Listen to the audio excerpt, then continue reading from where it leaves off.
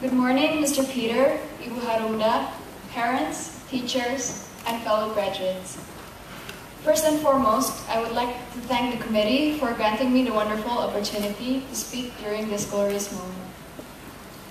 I have given my fair share of speeches during my time here at SPH, but today is different because this time will actually be my last.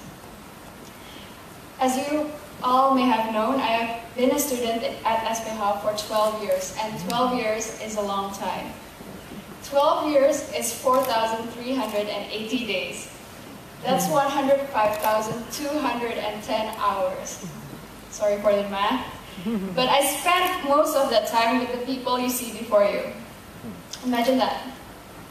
The fact is, I have had such an overwhelmingly fantastic period of time with these amazing individuals that I no longer consider them as my classmates, but rather as my family.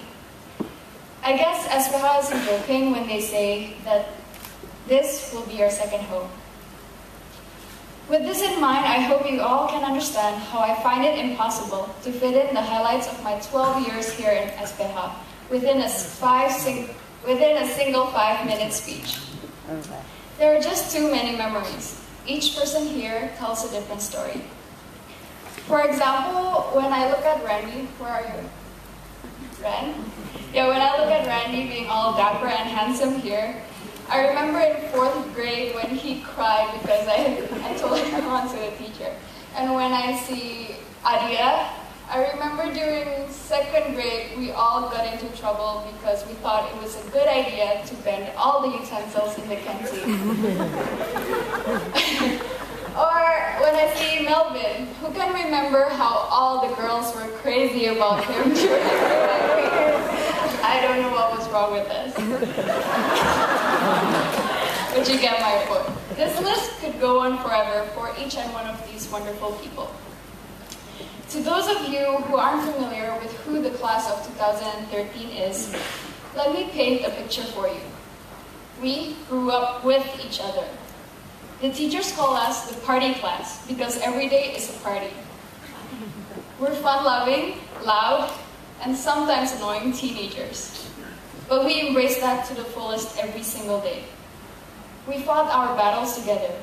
We were warriors in a single battalion. It was us against the world. We insisted on being winners. When we fell, we got back up again. When we cried, we sucked it up and moved on. Most importantly, we always had, have had each other's backs. In the words of the great Julius Caesar, we came, we saw, and we conquered. Class of 2013 is legend, wait for it, we're the awesomest class in the whole wide world, dairy. right now, we're on top of the world. This is our proudest moment. We started at the bottom, now we're here. We're actually graduating high school, the hardest parts of our lives so far. But guys, Although we won the battle, the war is not yet over. Soon, we have to start our individual lives in what people call the real world. It will be challenging, even frightening. But do not be afraid. Take risks, be wise in your decisions, embrace change for it is inevitable, be open-minded and loving, be passionate people. Try your hardest in everything and you will be the best. Finally, and most importantly, dream bigger. From now on, the only way is up. My beautiful mom is constantly reminding me of one important life lesson, to stay humble. With humility, I realized that neither my friends nor I would be up here without the constant love and support of many different people. Firstly, I would like to thank God, for without His wisdom and love, we would not be here in the first place. Second, I would like to thank our parents, who work hard day and night just so we can be the best. Mom and Dad, we know we don't say this often, let alone show it, but we love you. And there is nothing stronger than our desire to make you proud.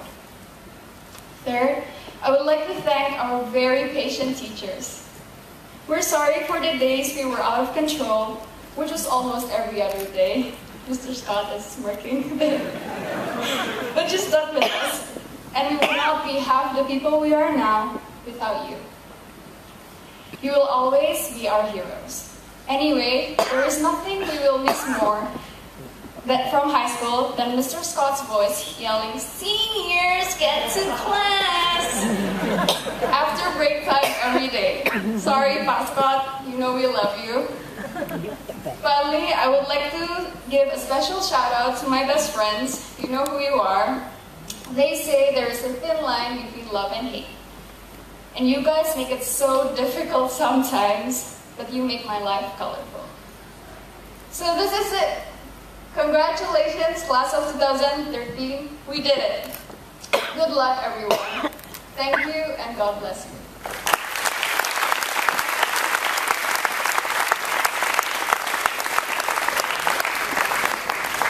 Taki, taki.